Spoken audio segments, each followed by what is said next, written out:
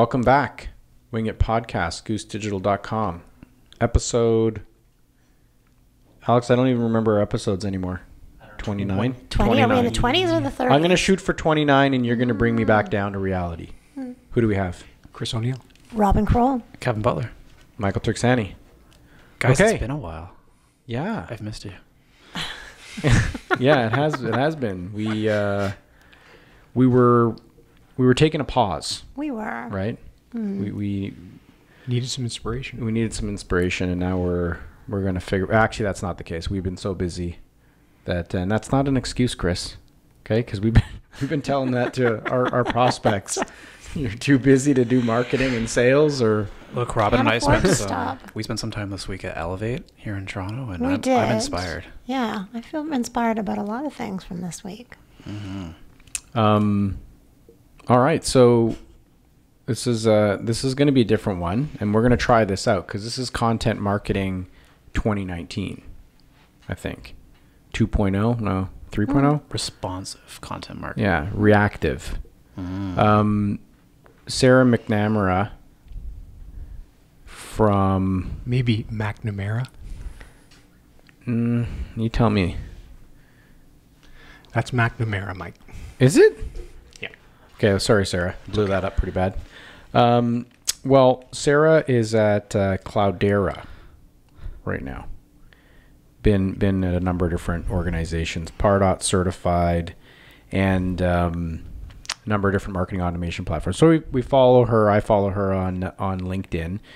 Put together a, an intriguing post on the support provided by marketing automation platform vendors. So that got us thinking. I, I replied to the post. That got us thinking and sort of talking about this because we, you know, we've seen the support evolve over the years in all of these different systems, all the kind of top five systems, top four systems, and um, and we know the role that kind of support plays. And we thought this was interesting to sort of um, compare and contrast our experience as well as um, talk a bit about what you should expect i think from these vendors and what so she goes on to say that like you know building out a, a capable marketing automation practice is expensive. I mean the rules now are getting um, especially in sort of competitive areas, getting expensive to have a, a senior map uh, on your team, and um, the vendors themselves offer a level of support, but the sort of conversation is around should vendors charge more money and provide even more support,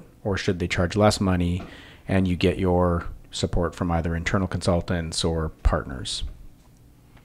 So I'm going to open it up a bit and just say like what's maybe our experience been so far with sort of frontline support on some of these platforms. Maybe Kev, start with you. Yeah, and we've seen this with a number of clients too across different industries. But I think, in, in my mind, there's a really big difference between um, sort of product and feature support and strategic support. And I don't really know if it's reasonable to expect uh, a Salesforce, an Act-On, a Marketo, whoever, to to go in and understand their client's business relative to the mm-hmm. role technology is supposed to play in fueling growth and, and customer comms and, and all that stuff, right? I think so that's part one. Part two of my thoughts would be this is a relatively emerging or, or new industry, and so we don't have um, partner ecosystems totally fleshed out. Whereas you see in more mature industries, you do, and, and the role of a partner to help bring that strategy to life, knowing the tools, technologies, and being experts in a particular vertical or two. That's really where it comes in. So I think what we're feeling is an increased need for um, call it support, like consultants and partners, to continue to flesh out with the end user what they're trying to do.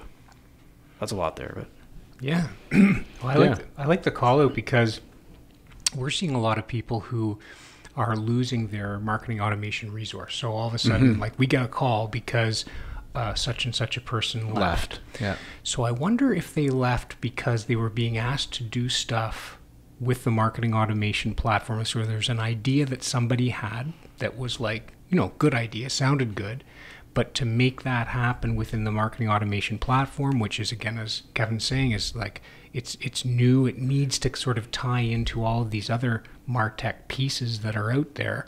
It's like it's it's not easy. It's not something that you can just sort of bring a, a smart technical resource in and just make that happen. So you know we're seeing a lot of uh, Churn. uh, turnover, Yeah. a lot of turnover in that uh, in that area. Um, and and so you know again we we get sort of brought in sometimes with um, you know I don't want to say a half baked strategy, but I want to say something that is um, that needs some more work, Yeah. something that needs to be maybe a little bit there needs to be a little bit more Re- almost kind of take it back to the beginning and say, yeah. I mean, how many times have we got uh, got a call and you know we've had name the platform for a year and a half and that individual brought it in. They're no longer here and we were kind of just getting rolling or to the point where now we're starting to have to prove the value of, of this thing. Yeah. and and they're gone. And then we're looking at it saying well on top of that i think you kind of need to sort of go back to the drawing board on some of these things because they were either flawed to begin with or um, they're never going to work. So even um, in organizations where the, the either the people or person who brought in the technology, um, e- even then, a lot of times the original vision isn't fulfilled. Either things have changed, or that original vision was a bit. Um, there's some immediate use cases. Then once those were accomplished, the the rest of the vision hadn't been painted. And I think again, it's these these people they have a day job and they don't know the tools inside and out to know all the things that it could do to support the business they do know the business challenges but again they, they don't know the tools like very rarely do we speak to prospects clients anyone's and they and they say we know this tool inside and out and all the things it can do i think that's our role is to help bring some of those needs to life And I'm going to go back to uh, Chris's point about strategy, right? Because this whole, you know, you flip on a switch and suddenly this technology is, you know, driving growth or doing everything that you need it to do, and it just doesn't happen. That's not how it. That's not how it works. Um, you know, you need to have a strategy which is aligned with the business, but it's also a strategy that can then be implemented through the technology.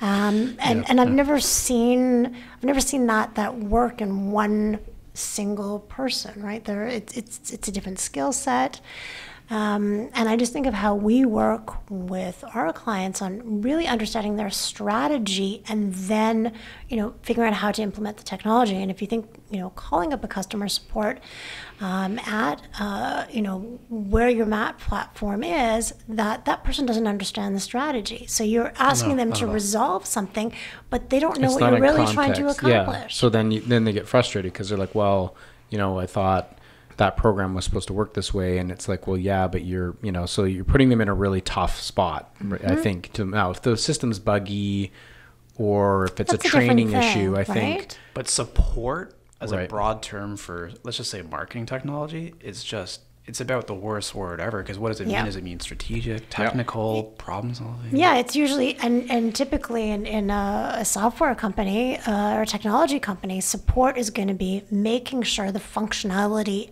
actually works. Right? You push this Sure. button, it actually happens. Something deploys.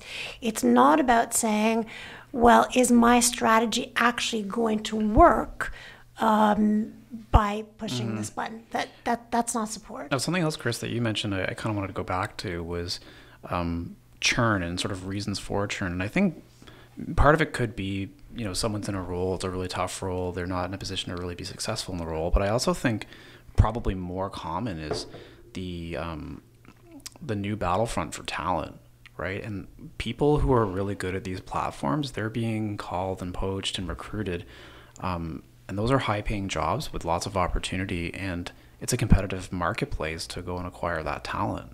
And there aren't that many of them out there. So if you are, I don't know, like a tech startup, you're well funded and you want to go build an in house marketing ops team with specializations around CRM, marketing automation, and possibly emerging other marketing technologies, you're willing to pay for that. And so, Yeah, That's what or or you know, I think that that's also you know we'll, we'll we'll stick on the on the map platform, but maybe we can talk later about um, alternatives. You know, like which is where I think organizations like ours coming in to sort of help mitigate that risk to some degree, right? If you are if you are going to build that out, you, and and because I don't think the I think it's hard to keep these people in inside the business. Sometimes they they get in there and then they, but if you look at um, uh, what the vendor should do, I think it is reasonable for them to offer quality support and potentially other options. Like I know not all map vendors are going to go this direction, but I think you can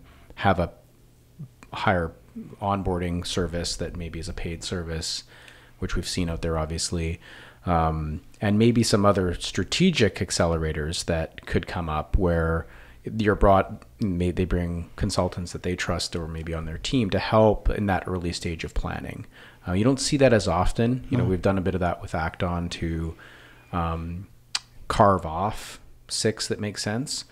Um, but I think that's ultimately part of the challenge. If we say, and we see this every day with our clients, so a new customer onboarding drip, you know, and that's a program that marketing's goal is to develop, you know, the the new customers that come through and whatever their strategic strategic objective is in that base.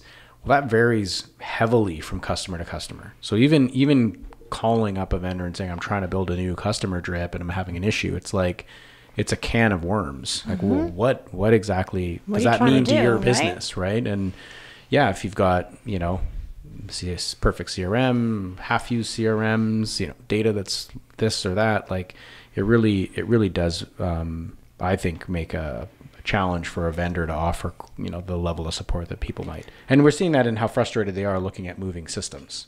Yeah.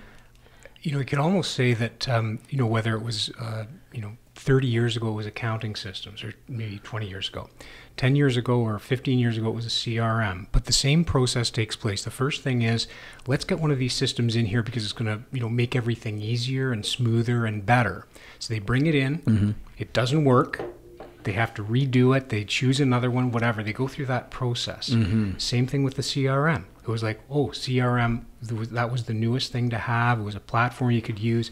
People brought it in. They didn't properly support it. As a result, there was churn there. There was all kinds of learning and so forth. So now what do you have? You got CRM administrators.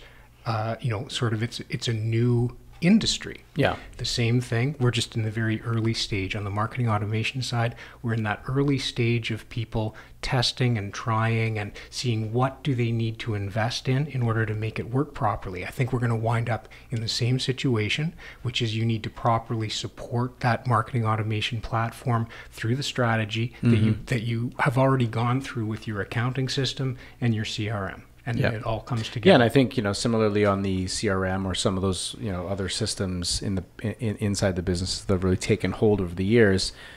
I think you are seeing a graduated approach to resource um, to to the cost of those resources now. Like you know, yeah, superstar map resource that can pull everything together and have everything from a strategic to tactical question and and and draw a project up those are hard to come by right now. And and I think what we've done successfully in our business is we, you know, you know, the only way we can sort of operate is to have graduate levels of roles here. Mm-hmm. So I think there is a world where it's kind of maybe where I disagree a little bit with with the conversation about needing a super high priced resource. I think you know companies need to be careful that they're not held hostage by really high priced resources, but at the same time that they get that strategic support, which is where I like the idea for some vendors to offer that because I think they can bring it in in a smaller chunk.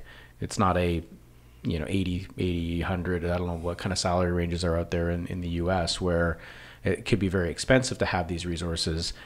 You know it might be a $8000 engagement where you can sit down with somebody's senior and plot that out and allow, allow your your team of of uh, more intermediate marketers to play a level of a role there. Right kev Yeah, I was just thinking, and we- we've kind of talked about the themes Chris talked about just now. We, we've done that in the past too, where we said, you know, in, in five, ten years' time, you're going to have marketing automation admins internally for large enterprise organizations. And I think if you scroll through, I'll just use Salesforce as an example, right? You see like Salesforce administrator, but you might even see things like, because they're about 10, 15 years ahead of where marketing automation is from an adoption standpoint, you might see Salesforce junior administrator, right? So to your Mhm. point around tiered sort of levels of experience, so you could say, well, you know, our organization doesn't have an appetite to go and hire a, a super admin of Marketo, but maybe we want like a junior Marketo admin, and we will empower that individual with like a sort of like a, a connection to a consultancy or an agency with expertise where it's like that lifeline where they have support for things they need, do more with augmentation or even on a higher strategic level, whatever, right? Yeah, and I was uh, thinking exactly along those lines that you know we, we talk about this this one individual, but perhaps that's not the solution, right? Mm-hmm. It, it's um, you know it's it's a, a, a two tiered or, or more of a team approach, and similar to what we do as well. Is that we have um, you know there's the strategy and then there's the technology, but if they're working together, we really have the best of both worlds. And so if you think of from a support perspective. Um, you can have people who have that deep understanding of the platform, but then you have that value added service that's the strategy. And um, being able to provide both of those, that, that's really the, the best solution, right? I have a question for you guys. I'm turning the tables on Mike, but I was having this conversation with um, someone the other day, and we were talking about the right mix. And I think it varies organization to organization depending on internal skill sets and expertise. But we both agreed that the right solution is probably a combination of internal skills as well mm-hmm. as outsourced. So, mm-hmm. you know, the insource outsource conversation, but what is that right balance? Like, how do you answer that if someone asks? Maybe I'll start with Mike. Hmm. Um, yeah, well, I think it um, it's it's a good question. I think you know outsourcing your strategy uh, is is a challenging is a challenging one. I think you can. Well, have- actually, let's say just outsourcing the execution, like the technical elements of these these platforms. Oh, just out, just the just the outsourcing.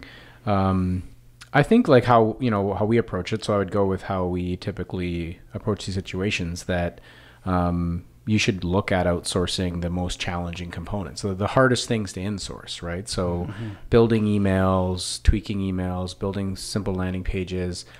Outsourcing that can be great, and and maybe that's a bandwidth or a TMOG, like you said, just to sort of provide um, bench if you're if you're going through a project. But that's the easiest thing to insource, right? You can bring people almost out of school to be all over creating very engaging um, content and, and, and the creative and, and the and the related around it. Um, trying to insource, you know, data integration and trying to insource kind of complex programs or um, the right approach to activating kind of an audience. I think that, that that'll be harder for a lot of companies, right? And that's probably where when they hire a Marketo admin or a Salesforce admin and that's kind of soup to nuts doing most of that, and then they that person leaves. Now they're really stuck because they've lost mm-hmm. everything. Mm-hmm. Um, and that's I think where the value proposition. And I think have you made a point earlier about the partner ecosystems. And that's really the value proposition of a more mature partner environment. Is that you know, you- they're not just there to execute what you require to have done. If you position it more along the lines of this is a SLA for mm-hmm. us to have continuity over a long period of time in this area, and maybe we'll lean on them a lot for a particular quarter and a whole lot less the next quarter. But if that partner is truly enacting more like a managed services provider, they're going to have elements within their business that ensure they can pick up where you left off. That's documentation. That's the mm-hmm. systems that, that you would have as a managed, managed service provider to have that umbilical cord or that SLA behind it. So I think that that's a model that's probably new to this industry. There's a lot of, hey, do my project, or you know, we're super busy and outsource a bunch of work, and um, and it hasn't evolved to your point, Chris, yet to that point where, and you made it as well, Kev, around the partner ecosystems to say, well, that's the type of partner. I think there's probably a lot of partners that need to be fired. I think there's still a relatively easy benchmark to get partnerships, and we're seeing some vendors wipe away a ton of partners um, or make that bar way harder to get you know that partner status so they can trust that referring these people in um, which we've seen in other more mature industries That's a good answer. I don't know what you guys would answer now. Mike took all the good parts. Yeah. Oh, sorry. Well, I was going to Uh, answer it a slightly different way, only in that I don't think the, um, you know, the in-source, outsource, instead of, you know, thinking of that sort of like a dividing line, but you can think about it as a progression as well. And that's something that we always talk about with our customers as well, is that it could be, you know, to get up and running, to get everything executed, let's say for the first 12 months, it might make sense to outsource that. But gradually, as there are some more repetitive processes and as an, an internal team starts to learn, mm-hmm. they can gradually bring things back in house, and that, that's another way of looking at it. Do you know what's interesting is we've seen this with a few of our clients, but I kind of felt a few years ago I would have made a bet that we'd see it a lot more, which is we'd be involved in some of the job creation or like the mm-hmm. elements of various roles that are going to be in, put into growing departments that would incorporate some of the things that the agency did initially. To your point, Right. we haven't done that a whole lot. In some cases, we've even been part of maybe just meet someone for five minutes and just say, hey, does seem like a good fit kind of thing. But I would have thought we'd be involved in more of that with some of our clients who really do rely on marketing automation. I think some of the bigger clients we've done a little bit, but you're right. It, it, it and mm-hmm. you know, I like to think of that in a positive way is that the businesses are growing, that perhaps they're using those internal resources for things like Mike said, strategy, things that really have to mm-hmm. stay internal.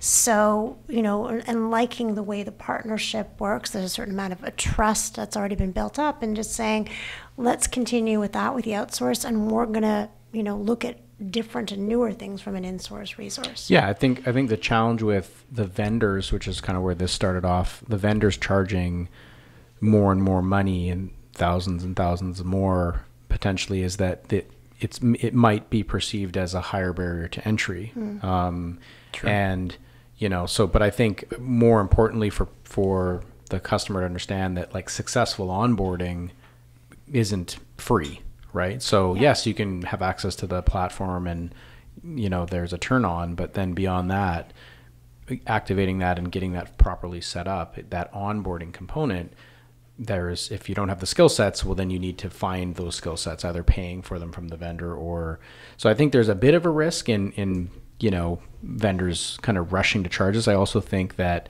a lot of the vendors and some of the comments in here were um, you know, they're product companies. To your point, Robin, like they're there to make sure the feature set, set works. They're there to provide publicly accessible training documentation, and you know, if you're so inclined to be a professional in the space, go take their certification and really know how to use their platform as well. The challenge, you know, being a greenfield, still a very greenfield environment with lots of churn, is that ultimately that doesn't that doesn't help them. I mean, 83%, I think that was a stat that we were looking at recently of people that were surveyed, marketers that were surveyed are looking to change their platform. Mm-hmm. And we like to say that like the best users and the worst users are using the same system. So that's not a platform problem, right? It's it's the Well, I- implementation usage. Yeah, and I was smiling when you were talking about the cost for a good implementation. And my attitude is it's always going to cost an organization. So you either pay for it up front to get it done right the first time, you are going to pay for it possibly later in opportunity costs and missed, or you're just going to end up replatforming in a year, year and a half because that wasn't the tool for us and we need the new one. But one way or another, you are paying for it.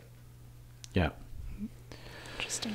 Yeah. All right. Well, I mean, hopefully this is uh, um, going to be some value. I think just maybe in closing some some recos. Like, how would we? You know, Chris, you you're getting phone calls every day from another company that's either lost somebody or is looking to augment their team. Like, what would you say in terms of? Obviously, the onboarding's key. We already got that. If you're rolling this out for the first time, get a professional onboarding. Well, the one thing I think that's that's positive is I think I think uh, organizations are looking at what what's ha- like when something like that happens. I think that's a good thing when uh, a, a medium or, or, or middle to large company is, is is losing people in that in that area. It's like they, they don't. It's not like oh we'll just sort of find somebody else to pu- to plug the hole. We're finding them thoughtful about what it is that they're going to do. A lot of times they are sort of, you know, having another look out there at, at what is out there, which I think is which I think is really good. Um, but I do think that you know just the place that we are at right now in this um, evolving marketing automation um, world is that there is um, uh, the vendors are are largely you know uh, uh, pushing software, and the partners like us are looking to make sure that those that those platforms are doing the things that are expected of them. And if you don't have somebody sort of taking ownership over the uh, the outcome, then you're going to be struggling with justifying that that subscription in a year or two years time. So it's like that's where I think the expertise around the marketing automation platform has to be identified. If it's not internal, then it better be out, outsourced, um, and that's the that's the element that I think a lot of organizations are are finding um, that you know they obviously don't they don't have that that uh, resource internally. They need to find somebody that they can rely on in the longer term make sure that they get the value out of the platform. So you're talking like an actual roadmap, not only of either use cases to solve for or, or things that it needs to do, it being the marketing automation platform, but secondary to that is who would be responsible for that, whether it's an internal resource or whether it's an external outsourced thing. Oh, the, an agency could help with items three and four. oh exactly Yeah, makes sense. Yeah, I think you know it's we look at I think the cost is interesting because the cost of these platforms is low relative to the um, human resource element that is is involved to drive them, right? Definitely. And I think that's to your point, pushing software, and then we're catching 100 and 100 mile an hour curveballs of well, what was sold and how is this actually going to add value inside your business and what you that that was what you thought it was going to do. And yeah well it probably can do that but that's a x amount of, of services to actually go make that happen. And the client's like well wait we never really